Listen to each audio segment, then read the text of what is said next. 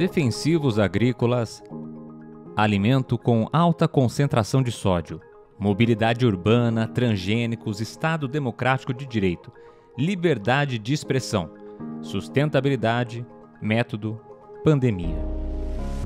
Alguns destes termos podem soar comuns ao vocabulário da maioria dos brasileiros, mas você seria capaz de explicar o que de fato cada um deles representa? Por trás dessas expressões existem anos e anos de pesquisas em diferentes áreas do conhecimento. Mais do que termos, cada uma dessas expressões carrega um conjunto de sentidos e maneiras de organizar o próprio fluxo de pensamentos para a busca de respostas. Se você não se sente à vontade para entrar nessa discussão, vale lembrar que o futuro de uma nação está diretamente ligado à capacidade que seus cidadãos têm de desenvolverem pensamentos críticos e complexos sobre os temas das ciências que permeiam nossa vida em sociedade. Um desafio para uma área que se expressa por meio de outra expressão, a alfabetização científica e tecnológica. As pessoas precisam entender um pouco daquilo que a gente chama de natureza da ciência. Como é que se produz o conhecimento científico? Quem são essas pessoas que produzem ciência e com qual intencionalidade esse conhecimento científico ele está posto na sociedade?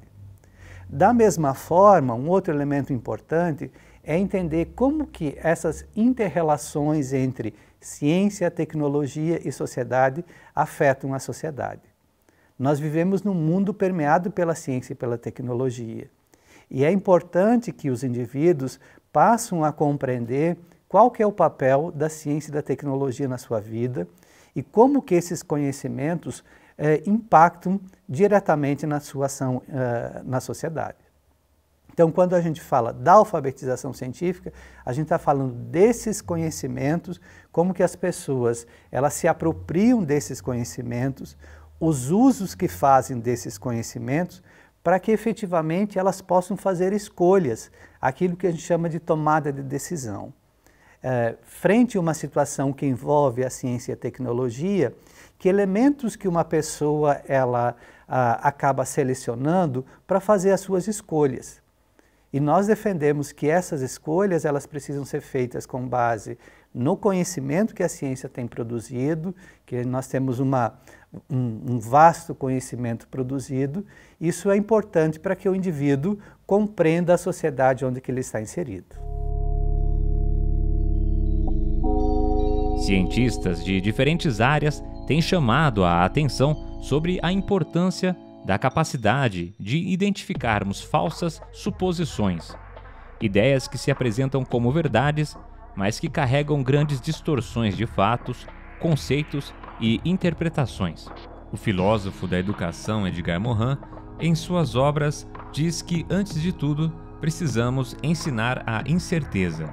Depois, a partir do pensamento crítico e lógico, passamos a dissecar aquilo que nos é apresentado como verdade. Já o astrofísico e renomado divulgador científico Neil deGrasse apresenta em suas obras o problema do viés cognitivo para a compreensão da ciência. Para ele, verdades pessoais ou ideias difundidas amplamente nos grupos sociais que pertencemos funcionam como barreiras para desenvolver um raciocínio crítico e científico sobre diferentes temas. Isso porque, mais do que compreendermos temas das ciências, estar em processo de alfabetização científica prevê a capacidade de interpretar e aplicar o conhecimento. O professor Leonir da UFPR nos dá alguns caminhos para entendermos essa questão por meio de diferentes dimensões da alfabetização científica e tecnológica. Essa dimensão prática, então, se refere com aqueles conhecimentos que você se apropria e automaticamente você vai colocar isso em prática na, na sua vida, você incorpora. A outra dimensão é a dimensão cívica. Então, a, a dimensão cívica está ah, relacionada, uh, o que, que você faz de, com, com esses conhecimentos, é, como é que você amplia é, essas possibilidades desses, é, desses conhecimentos co, como um todo. Então, está muito focado na questão da formação do cidadão. E a terceira dimensão é uma dimensão cultural. Então, a dimensão cultural ela é motivada por um desejo, por uma vontade de aprender algo. Então, eu tenho interesse é, em buracos negros, por, por exemplo. Então, o que, que eu vou fazer? Eu vou começar a interagir, eu vou pesquisar, eu vou interagir com grupos, eu vou montar grupos de estudo, eu vou fazer a, aproximações. Eu acho que é nessa dimensão importante dessa alfabetização científica cultural que a gente precisa investir. Agora, ela só vai ocorrer efetivamente se uh, o espaço escolar uh, criar essas situações. Para a professora Lucimar Rosa, do Departamento de Educação da UFPR, ainda são necessários avanços nas políticas educacionais para que a Base Nacional Comum Curricular possa dar mais enfoque à alfabetização científica, para que alunos e professores compreendam que a ciência é baseada em evidências, métodos e que não são verdades acabadas, mas sim em constante construção. A função social da escola é trabalhar com conhecimento. E a ciência é conhecimento, e eu acho que é desde que o bebê entra na creche. A discussão é o como fazer, né? Ah, eu, eu trabalho bastante com educação infantil. E nós temos falado muito fortemente que a educação infantil é esse espaço em que a criança vai explorar o mundo, explorar a natureza, explorar a sua sala, o seu próprio corpo. E isso é um pensamento científico. E ela vai levantar hipóteses sobre por que, que ela cresce, mas ela está vivenciando aquele tipo de conhecimento. E isso vai é, ficando mais complexo à medida em que a, a criança vai avançando na sua escolaridade. Por isso que a gente fica tão triste com, com o que fizeram com o ensino médio nesse momento, né? porque estão retirando da juventude, que é bem o momento em que esse pensamento poderia ficar mais complexo, com mais é, desafios né, próprios dessa idade, dessa etapa, e a gente vê um, uma fragilidade muito grande nesse novo ensino médio, porque retira áreas de conhecimento fundamentais. Não retira só a sociologia, né? retira a química, a física, as áreas de conhecimento é, numa pseudo-resposta de reorganização da interdisciplinariedade que a gente sempre defendeu, mas a inter não é o esvaziamento das áreas de conhecimento como a gente está tendo. Então, existe uma disputa social sobre o que deve ser a escola. Nós acreditamos que a escola é esse espaço do conhecimento e de um conhecimento que deve chegar a todos e todas. Mas é uma disputa mesmo, porque tem pessoas que defendem uma educação do fazer, né, técnica, não é uma educação para o pensamento crítico. Então, um elemento importante hoje é, é pensar a gente ensina ciência e tecnologia para os nossos alunos para quê? É, qual que é a intencionalidade pedagógica disso que, que a gente está tá fazendo? Então a gente consegue vislumbrar lá na frente que a formação para a cidadania exige uma ampliação nos níveis de alfabetização científica. Então, quanto mais o aluno ele se apropriar do conhecimento científico, quanto mais ele entender é, os reflexos desse conhecimento na sua vida e ele conseguir visualizar como que ele está sendo impactado pela ciência e tecnologia, no nosso entendimento, esse sujeito terá melhores condições de fazer escolhas e isso contribui para aquilo que a gente chama de uma sociedade democrática, quando os indivíduos conseguem perceber o seu papel na sociedade e como que o conhecimento, especificamente aqui a gente fala de ciência e tecnologia, o quanto que esse conhecimento é importante para a vida dele.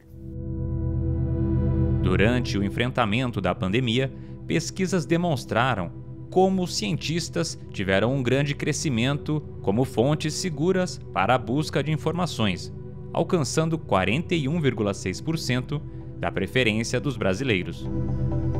Uma situação extrema que nos fez pensar para além de opiniões e crenças, mas buscando a confiabilidade nos métodos de obtenção da informação. A gente usou o slogan Ciência Salva Vidas. Então, ter essa possibilidade de pensar a partir da ciência, do que é, não é o achismo, né, mas tem procedimentos, desenvolve-se trabalhos organizados Isso ajuda todo mundo. Então, ter uma educação que possibilite isso é aquela velha máxima que a gente falava, né? Educação, ela produz desenvolvimento. Por que, que ela produz? Porque ela é, pode ser uma educação crítica. Se ela perde esse sentido e se produz uma educação da obediência, né, da, do cumprimento de tarefas, com certeza o país que a gente quer, é, com essa ideia de desenvolvimento também, que não é o desenvolvimento né, do de, desvastar as florestas, mas é um desenvolvimento em que as pessoas tenham vida, tenham vida com qualidade. É, só a educação, a partir de um pensamento crítico, científico, pode produzir esse processo. Se para a autonomia do sujeito o conhecimento científico e tecnológico se faz crucial para o desenvolvimento de uma sociedade democrática, essa alfabetização é ainda mais necessária. Isso porque, para o pleno exercício da democracia moderna, baseada na participação popular, é fundamental o entendimento de como a própria sociedade funciona. O, que a gente tem defendido é que a gente não pode ensinar ciência e tecnologia sem desconsiderar a questão da sociedade.